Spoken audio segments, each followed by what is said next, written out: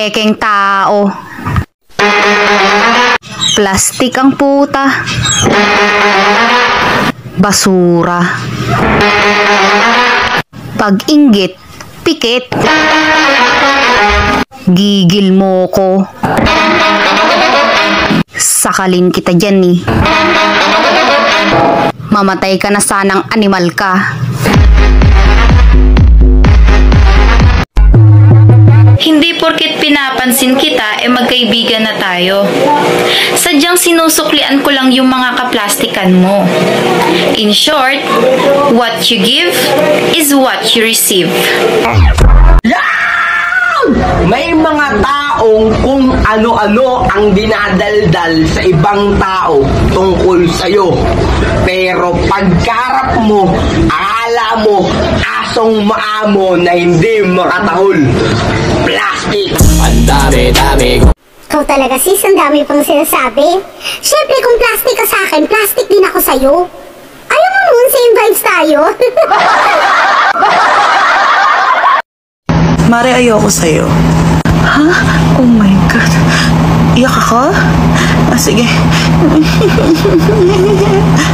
okay na. Pag-uusapan, talo na ako sa'yo. Talent mo yan eh.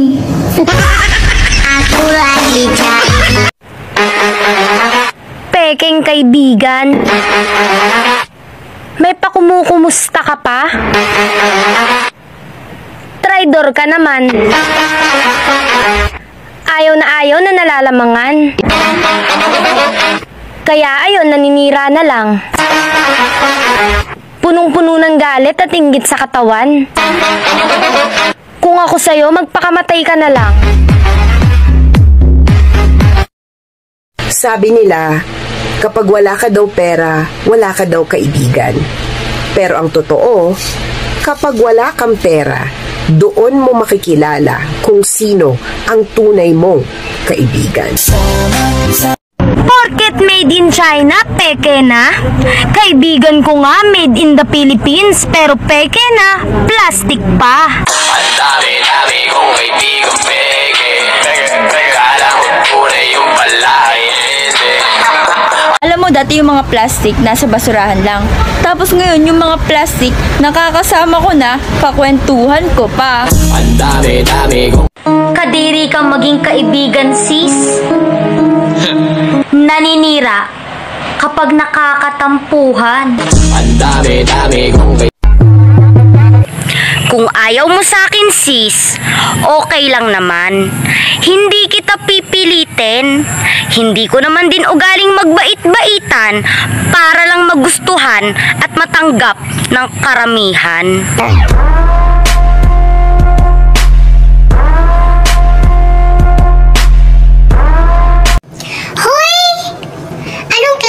Kaibigan ka ba? Solid? Liquid? Or plastic? Hindi lahat ng galing sa China, peke.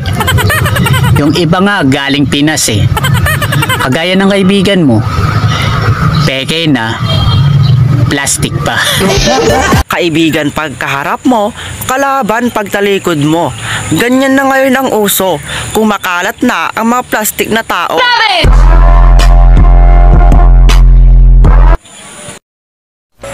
Sis, payong tunay na kaibigan lang.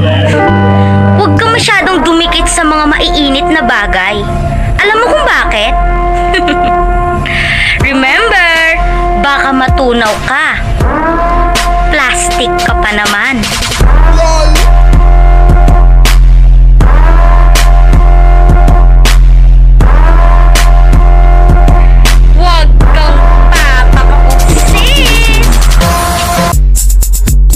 Ka daw? Hoy, nalaman ko na pinepeke mo ako. Pero I don't give a fuck. Bro, hindi naman nabago. Ano bang pinakalat mo? Yang katoksikan mo. Baka pag ako ang bumira Lumabas yung baho mo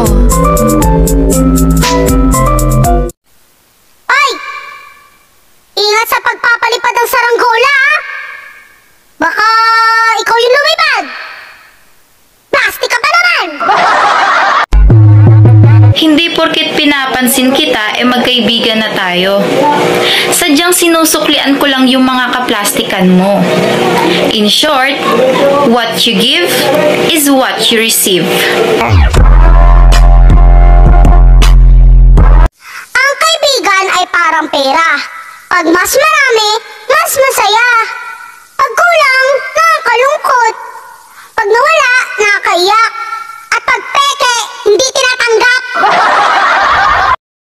Grabe oh, dati takot na takot ako sa ahas. Pero dahil face your fears, ayun, kaibigan ko na siya. Diba sis?